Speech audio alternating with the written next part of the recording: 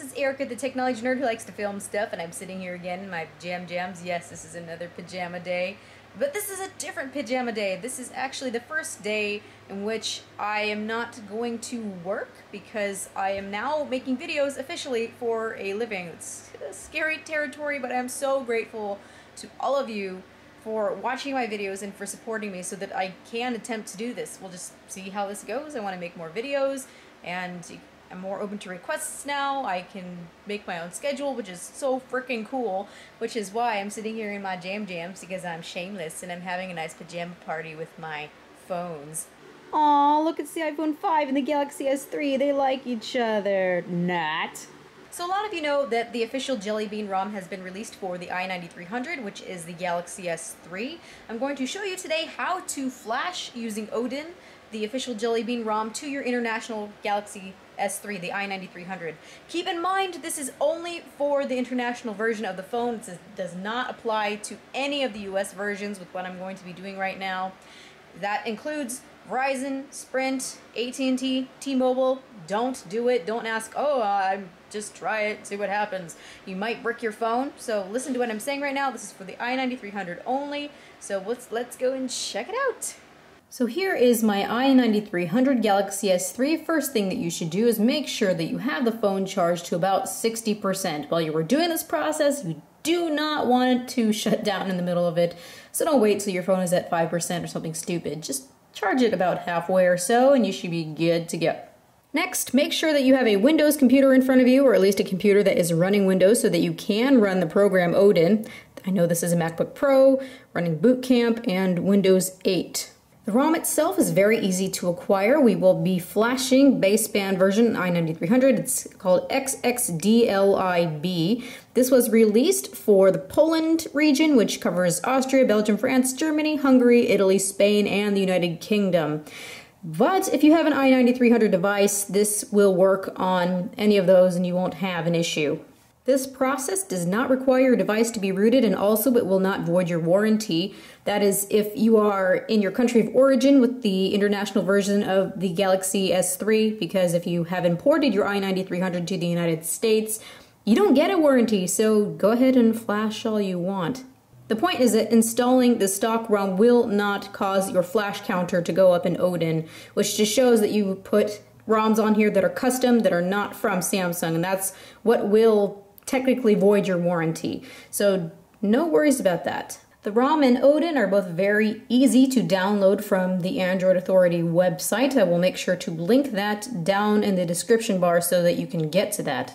Once you have installed Samsung Kies, which allows you to install the drivers so that you can use Odin to flash the ROM onto your phone, you need to go under Developer Options. Under Developer Options, which you find under Settings, you need to make sure that USB debugging mode is checked. Otherwise, when you go to use Odin and you try to flash the ROM onto your phone, you're going to notice that nothing happens.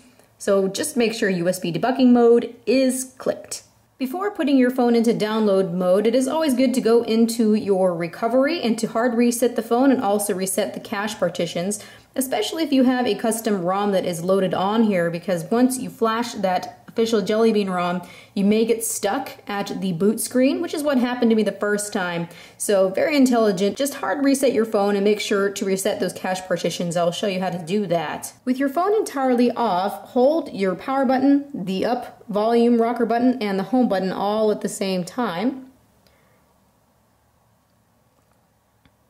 Then let go once you see that you have gotten into your recovery. You can see that I have the Clockwork mod-based recovery because my phone is rooted. If your phone isn't rooted, you will just get into the, the, system's default recovery. Now, whether or not you have the custom recovery, you will be able to find Wipe Cache Partition. You want to go ahead and select that. I'm going to scroll down and say yes. Now that is done. There's another step under here which I can get to advanced and I can go to wipe Dalvik cache. That also helps to get rid of anything that's left in program memory or other things that could cause trouble with installing this new ROM, so I'm going to wipe that as well.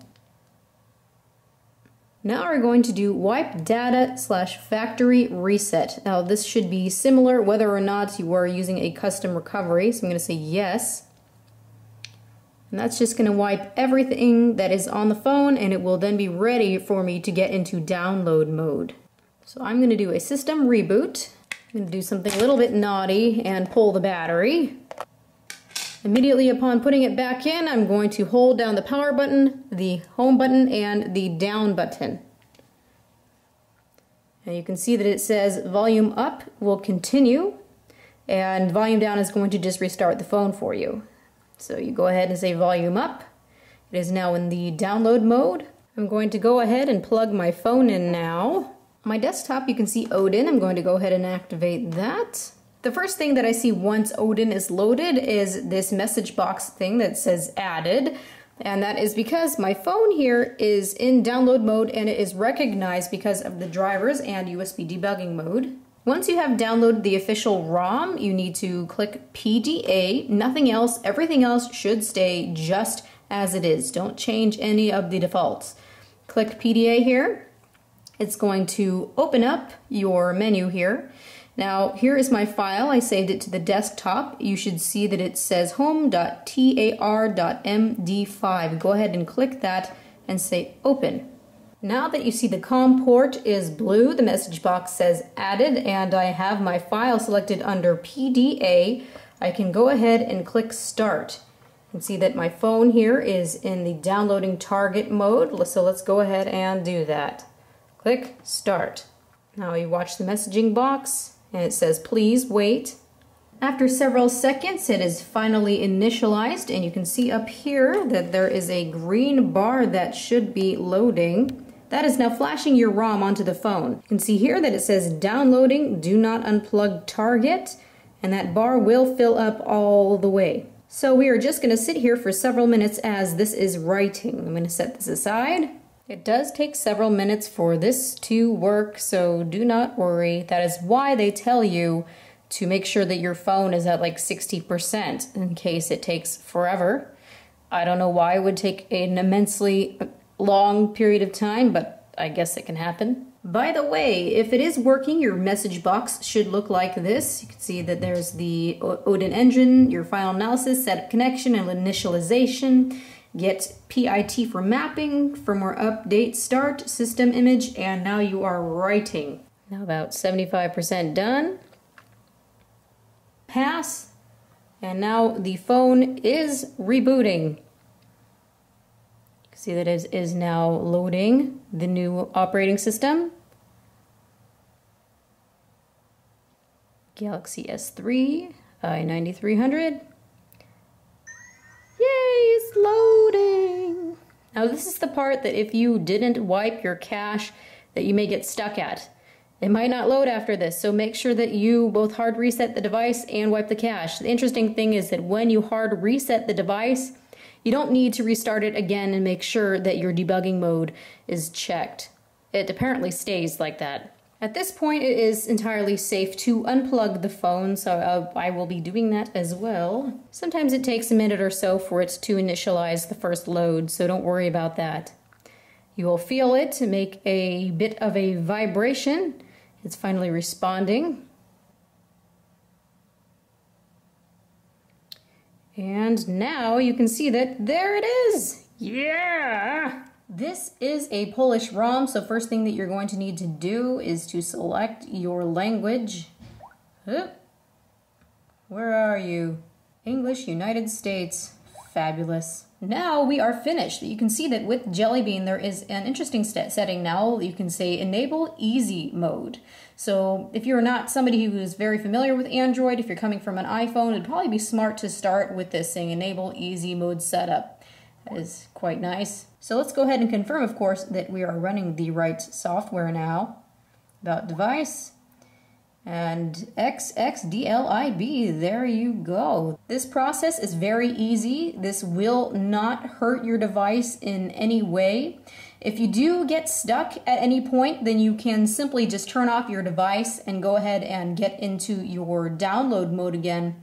You don't have to freak out. You're not going to brick your device with doing this. Unless, of course, you don't have an i9300 right now and you're being retarded and trying to put a i9300 ROM onto a phone from the United States.